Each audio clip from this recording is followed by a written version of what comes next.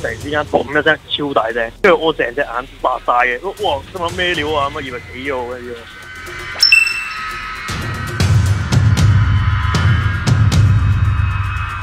佢係坐三個位裏邊中間個位嘅，咁、我就喺嗰個女人前邊嘅啫，正前邊嘅啫。嗰時玩電話啦，我聽歌唔知咩事啦。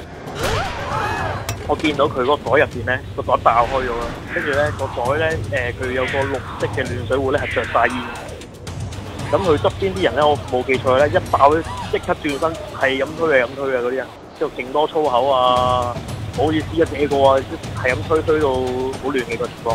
我初頭都好驚啊！哇咩料到會唔會係咩炸彈爆咁樣？我真係諗緊嘅。但係望一望咧，其實佢成個袋都係煙嘅，就喺嗰個暖水壺嗰個窿度噴噴出嚟嘅啲。星期三晏晝係金鐘上車嘅歐先生，去到油麻地就即刻落車。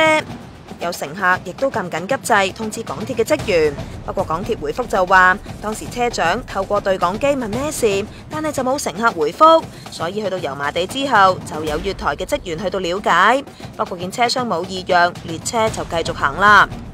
之後先知有物品發出聲響，見冇煙，最終去到深水埗站就安排咗五百個乘客落車，涉事嘅列車就返到荃灣車廠度檢查。旧式嘅保暖壶就用玻璃内胆嚟隔热保温，一般嘅情况之下都唔会有爆裂噶。有专家就估计今次个女乘客带嘅保暖壶系因为受到行车嘅搖晃等等影响，搞到内胆突然爆裂，而啲白烟相信系内胆爆裂之后嘅水银粉末嚟噶。爆片爆相，前三有奖啊！